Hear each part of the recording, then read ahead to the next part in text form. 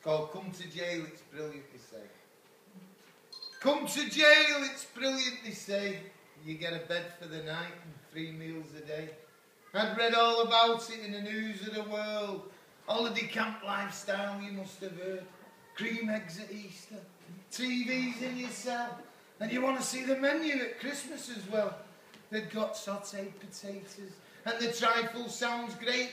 So I wasn't too bothered when I copped for an eight. But you can imagine my shock when I came into stir.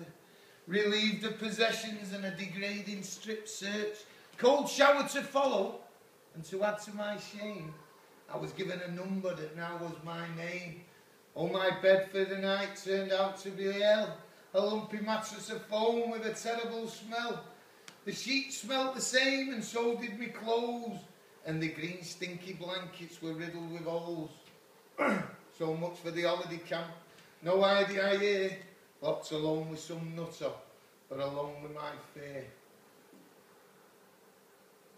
That first night in Walton I'll never forget. Having to use a toilet in front of a guy I'd just met. And at best your three meals a day, at best it was poor, because your three meals a day cost 154. You're constantly hungry and you're never full, and what you get has been steamed, so it's tasteless and dull. So the news of the world got it all wrong again. There's no rest for the wicked when you're locked in the pen. So we might have a menu, but only in name. Same kitchens, same cooks, so the taste still the same. The carrots are from Kirkham, and the rest of the veg, and the trifles are seconds from the back of some fridge.